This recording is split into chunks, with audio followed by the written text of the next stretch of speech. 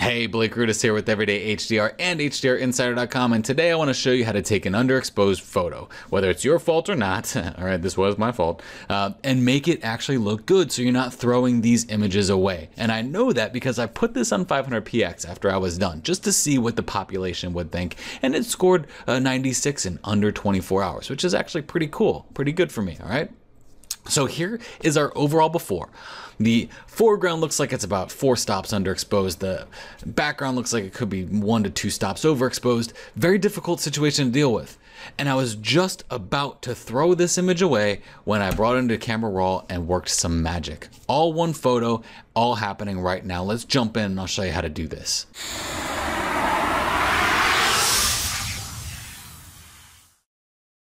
Okay, so we're here in Adobe Camera Raw, and this is where we're going to use our uh, underexposure to make this photo just kind of pop, right?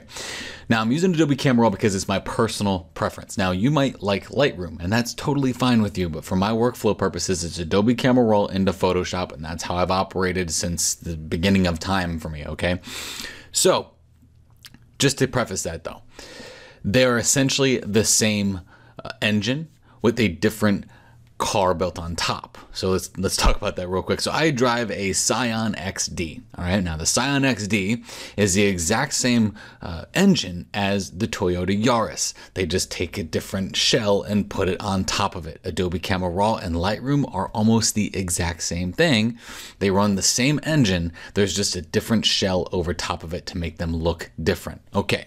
With that being said, let's talk about this photograph. So we are on a workshop in uh, Cannon Beach. This is Ecola State Park. Off in the distance, you can see Tillamook Lighthouse, really teeny tiny back there. So I'm at this scene, very difficult to deal with. Lots of dynamic range from where I am in the foreground all the way to the near distant background. Uh, so with that dynamic range, I had a very difficult time getting the right amount of exposures for HDR. I shot a series of 0, plus 2, and minus 2. It didn't cut it. And when I got back to the computer, I realized that those were horrible exposures for this, and I have no dynamic range to make an HDR image, all right, the typical tone mapped HDR image. But I looked at my long exposure shot that I did, the 50 second long exposure shot that I did with the VU filter 10 stop ND filter on. And this is what I had. It's something I can work with. Now, you might look at this and say, oh gosh, it's so underexposed, it's trash.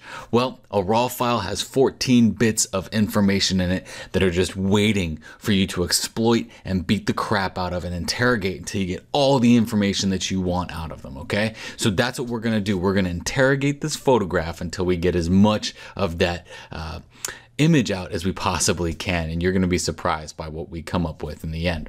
So the first thing we want to do is get our exposure right. Now this looks to me as if it's about um, two stops overexposed for the background and maybe three to four stops underexposed for the foreground. So what I'm going to do is I'm just going to come right over here to the exposure slider here and move this over um, just to about there. That looks good. I'm not doing too much with the exposure itself because most of what's going to happen with the sky is going to come out with the highlights. So I'll drop those highlights down pretty low, about that negative 85 range, somewhere around there and then bring these shadows up to about plus 82. So now you see the whole image is kind of coming forward. And this is the typical tone mapping technique that people would do in Adobe Camera or Lightroom. Jack those highlights down, increase those shadows up, and bing, bang, boom, you've got a fixed photo, right? Well, that's not necessarily the case. There's a lot more that needs to go on. Because when we drop those highlights down and bring those shadows up, what we're doing is we're really kind of expanding out that dynamic range so far that we lose the contrast between between those or the, the, the lightness and darkness between those individual highlight and shadow areas because we're expanding that information so far. So what we need to do is just go into the contrast here and increase our contrast just a slight bit. I'm not going to take it too far, just just enough to resurrect that information and bring it back. And now I'll take a look at my whites, maybe move those over because I do like how it's a little bit brighter back there and then look at those blacks to maybe make the foreground a little bit uh, brighter and more opened up. And the idea behind what you're doing here, um, don't look at these adjustments and say, okay, well, Blake said that if I've got a negative uh, exposure that's really underexposed, that I can do this and it'll fix it. These exact settings may not work for your photo, but they can be used so that uh, you can get a baseline starting point. So now before I go into the color correction, really making this photo pop, I'm gonna go ahead and do two things. I'm gonna get some of the boring stuff out of the way. I'm going to uh, straighten my horizon. So uh, you can see that even on a tripod with a bubble level on it, I can never level my head. So I'm gonna straighten that out and then boom, that's good to go there. I just got the straighten tool, found that horizon line, and straightened it out. And then I'm going to go down here and I'm going to get rid of these uh, these uh, pieces of fray that are right in the middle of my exposure. You see, they're like right there where this V comes down. And I don't want that to be the lasting impression on someone that that is what I wanted them to see. So I'm going to go into my spot removal tool and I'm just going to kind of casually go through here and grab this spot and see what it grabs for me and that looks like it's about right, but maybe I'll drag this down and bring it to about right here. So it kind of continues on that line and get some more of that texture from this area. And I'm going to do the same thing with this guy here. Just kind of grab that, move that. And then it's going to try and pull from up here, but that's not a very natural uh, pull. So I'm going to pull from something pretty close to it so that it gets a more natural curve in that uh, line work there. And that looks good. So I'll go back. So I got those preliminary boring things out of the way. And now I'm going to just fit this on screen and we're good to go to move on. Another area of technical uh, stuff that really just bothers me are chromatic aberrations. So I'm going to zoom in right back here to this rock because this rock is going to tell me where most of my chromatic aberrations exist. I'm going to need to just zoom out a little bit. So let me go to 300%, maybe 200%. And let's just take it to 100% because I want to see both sides of this rock. Okay.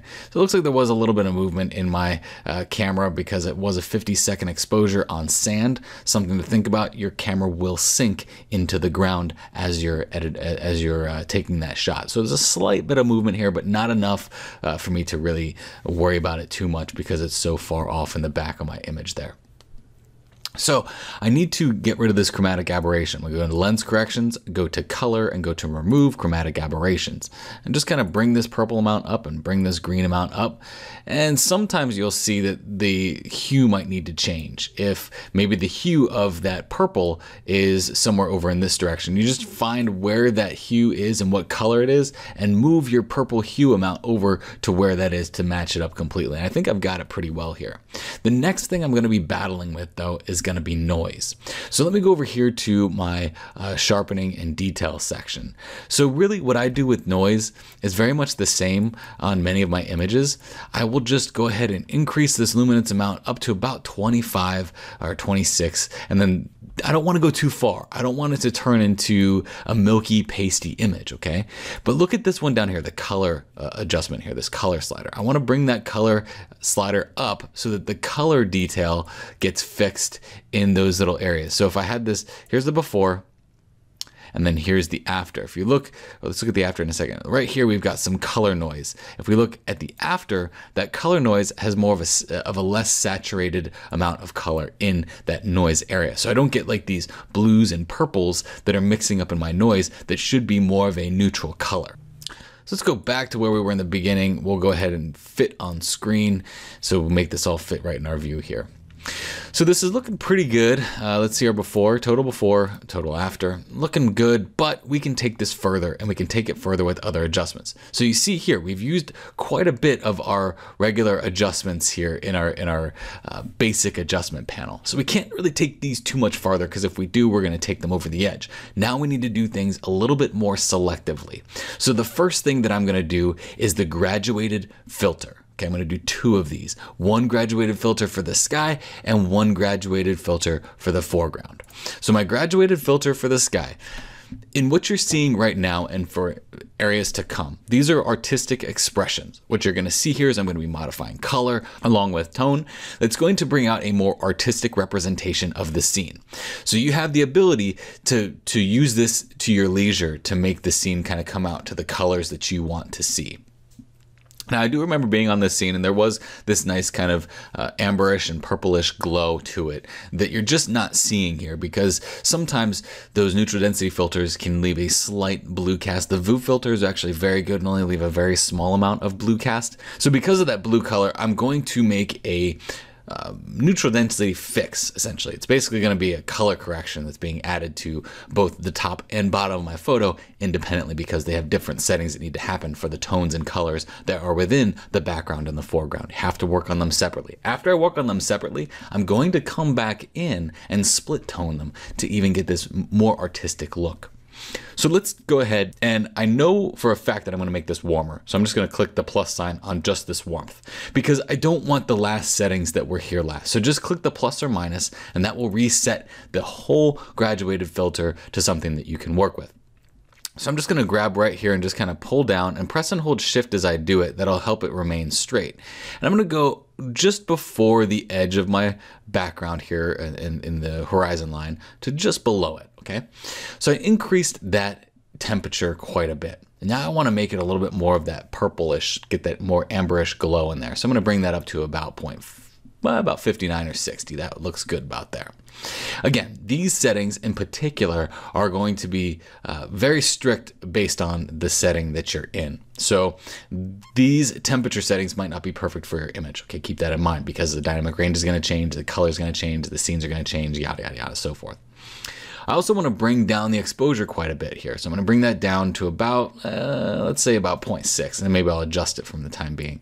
And then bring up my contrast a little bit. And then again, look at those highlights, maybe increase those highlights a little bit to get that nice glow back here, to resurrect some of that glow, bring that up. And I'm also going to bring my shadows up quite a bit here and then maybe bring my whites down to get that color a little more accurate back there. So this looks pretty good. The only thing I want to do now is go into the brush settings here. Now with the brush, I can actually brush away things that I don't want to be edited. So right here you got the plus and the minus. I'm going to click the minus sign and I'm going to click down here at my mask so that I can see exactly what's being edited here. And with that mask, let's go ahead and drop the opacity of this mask a little bit so we can see some of the underlying stuff underneath it. Okay, and I'm going to brush away anything that I don't want to be modified by this graduated adjustment. Okay, so just grab right here. I've got auto mask selected, so it's doing a pretty good job of staying in the constraints of exactly what I want it to, to edit. So I don't want this stuff here, and that auto mask is right here. If you click auto mask, it'll stay within the pixel range of something that's big and blocky, essentially. Once these pixels start to match the pixels around it and the rest of the image, then the auto mask doesn't work quite as well. But because we have such a separation between foreground and background with these very distinct shapes, it's very easy for Photoshop to pick that out and I'll remove that mask option there so that we can see exactly what happened. So with this new graduated filter that I'm gonna add here, I want to make sure that all of the settings zero out so I'm not using the same settings from this graduated filter. So I'll just go ahead and press the plus sign on that, you know, 0.50. Just give me a little boost in exposure real quick and grab right about here and boost this up to about here. Pressing and holding shift so that it stays straight and only moves within, uh, I think it's 15, 15 degree angles at a time. Okay. And then now what I want to do is just start adjusting this a little bit. Bring the foreground forward a little bit more so that the viewer in, gets engulfed in the in the opening of the image because that's what where they're going to be looking at first. That's where I want them to be looking at first. So I get to control what they look at first. So to do that, I'm going to brighten up all the stuff in the foreground quite a bit. So I brought up the exposure. I'm going to bring it up just a little bit more to about 0.6. And I'm to go to my highlights and bring my highlights up a little bit more. And then I'm to go to my shadows and even open up those shadows a little bit more. And you're wondering why I'm doing this. Well, the reason why I'm opening up this area so much and giving this area so much brightness is because the first area I want the viewer to look at is this area, the foreground area. And to do that, we can do multiple things. We can increase the saturation of that area, but the most prominent one is to make your highlights be the area that you want the viewer to see first. Now, very powerful tool. Make an area brighter if you want that to be seen first. Our eye is naturally going to go to brighter areas in the photo first before it ventures out to the rest of the photo. So I'm controlling the viewer at this point. It's all about manipulation of the viewer. And now I'm going to bring that contrast up. And the reason why I'm bringing the contrast up is as I brought all this up, I'm losing all of the depth in between the little pieces of the rocks. So if I increase the contrast, it's going to help boost those black to white areas. Now we can go a little bit further here. We could go into the whites and darks here, but I think the whites and darks are pretty good. And let's go to our before. This is before we even started doing anything with our graduated adjustments. And now look at it after the graduated adjustments. And we're almost done, okay? The last thing I want to apply to this is some more color correction. And what I'm gonna do with that is something called split toning. And split toning is really interesting because um, you can actually add more color to highlights and more color to shadows independently. So where you find this in Adobe Camera Raw is right here. It says split toning. So if you increase the hue to get a hue for the highlight colors, nothing's going to happen. You have to increase that saturation. So this is basically saying all of the highlight areas will start to get a gold tone, a green tone, a cyan tone, a blue tone, or a magenta tone That's basically all we're doing. So I want to bring this up so all my highlight areas get a really nice magenta tone to them. And I brought the saturation all the way up so I could see the exact color that I'm applying to my highlights. And now I will bring the saturation down to something I'm more comfortable with, like the 25 range. So, so you see that before, and now we're giving all of our highlights a slight added color to them. We can do the same thing for our shadows. So if we bring this, this is basically saying all of our shadow areas are now going to be red, our orange, our yellow, our green, cyan, blue, and more magenta. Now I want all of it to have the pretty much the same uh, color range. So if I'm working with magenta in my highlights, I want my shadows to be somewhere in the range of magenta uh, that that, that's really close on the color wheel so that there's harmony in the photo. So I'm going to take that to about, uh, let's say about 260. Give that a bluish type of tinge to my shadows to match the overall uh, pinkish tinge that I gave to this to the highlights. And then again, bring down that saturation quite a bit. And then if we go into the balance, this is where you can say, okay, I want most of that to go towards the highlights or most of it to go towards my shadows. I think the balance is pretty good where it is right about here. So let's go to our overall before. Here's the overall before, before we did anything. And here's the after. Press P for the preview. We did quite a bit, but we could still do a little bit more. I think this needs a little bit, just a little boost of maybe some vibrance to get some more color in there, maybe even just a slight boost of overall saturation. Uh, maybe not overall saturation because of what it's doing back here. Let's bring that saturation down a little bit and then just boost that vibrance a little bit. The difference between vibrance and saturation is vibrance, I kind of think is more of like a smart saturation because it looks at the areas in your image that need a little bit more saturation and just uh, gives them a slight bit more of saturation than uh, some of the other areas. Another way to look at it, um, not the smart way, is that this will protect your skin tone colors as you boost the vibrance. So if you're doing a portrait and you boost the vibrance a little bit, maybe the color of their clothes, if it's got a nice vibrant blue and yellow in it, will boost, but their their Uh, skin tones will remain relatively the same. Let's take one last look at all this stuff that we did here. Here is the overall before. This is before most of our adjustments. It does have the straightening in there, but that's about it. And here's the after. Nice, glowing, resurrected image. Now, this, like I said before, it's probably about four stops underexposed in the foreground and about two stops overexposed in the sky. Now, the beauty of uh, working with a RAW file is that there is that much information in there. So if you're not shooting in RAW, get in RAW now because I could not have resurrected this photo with a JPEG. A JPEG is a snapshot at best, okay? A RAW file, you have a lot of uh, leeway to work with here. And, you know, some people have this mindset that, oh, we do so much with our digital images that it's not the true nature of photography. And I call that completely BS. And the reason why is because a JPEG is basically a um, contact sheet. So if you have a whole series of JPEGs, that's a contact sheet. It'd be like me saying, hey, here's my best photo. It's on the contact sheet. A RAW file is the actual negative. This is what allows you to get into the digital darkroom and create an, just a phenomenal photograph with all of that information that's held in that RAW file. It's the same thing that you would see in something like a negative in the film world.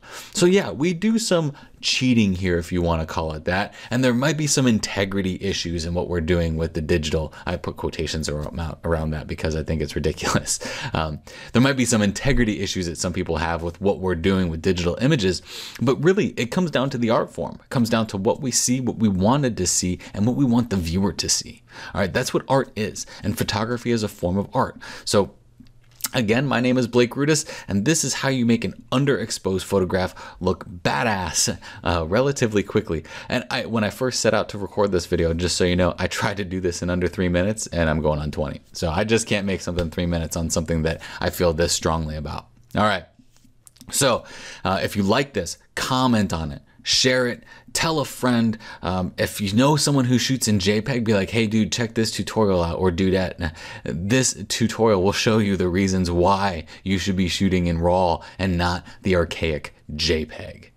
Thank you very much for taking the time to watch this. I sincerely appreciate it.